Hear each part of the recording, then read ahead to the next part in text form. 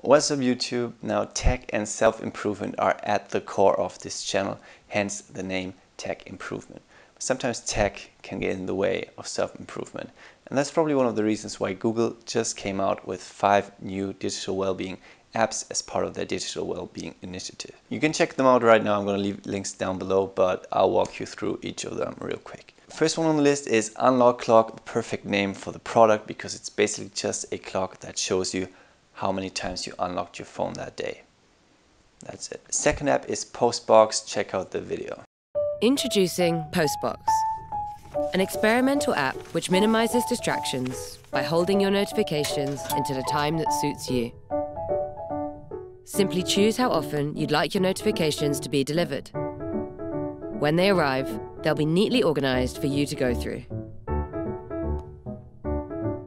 Basically, it just schedules your notifications for certain times of the day, which is gonna help you check your phone less. It probably works very well in combination with Unlock Clock. App number three is WeFlip, which is an interesting concept, which I think we've seen before. It's basically targeted at people using their phone in public situations, when you're out with friends, having dinner or something. Check out the clip.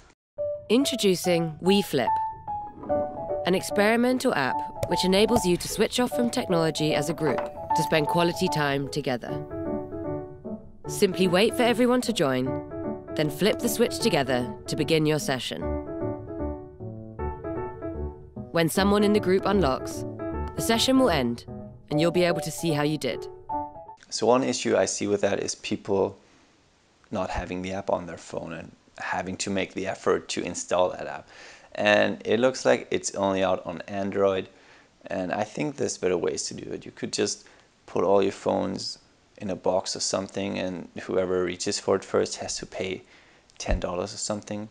I don't know, not my favorite on the list. Next app, probably my favorite is Desert Island, which forces you to choose just seven apps that you can bring on that desert island. And these are the only ones you can use on that day. It comes as a launcher, so it replaces your current home screen and it just lists. If there's an emergency or anything, you can of course leave that screen. There's multiple ways to cheese it. You can just use Google Assistant to open another app or multitasking view. But check out the video and create a picture for yourself. Introducing Desert Island, an experimental app which helps you find focus by challenging you to go a day with a handful of essential apps. Simply pick the apps that are most important to you. Then give it a go for 24 hours.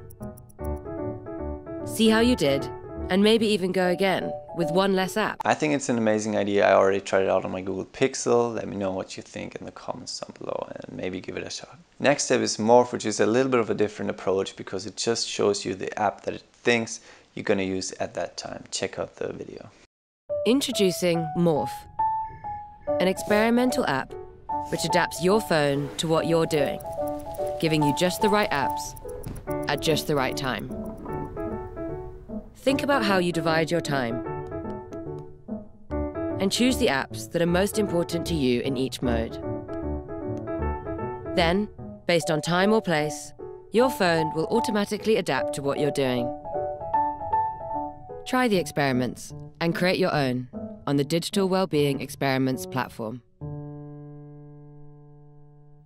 Anyways, what do you guys think of these five apps? Will you try them out? Give them a shot. I think it's a very cool initiative to see Google actually putting an effort for you to use their products less.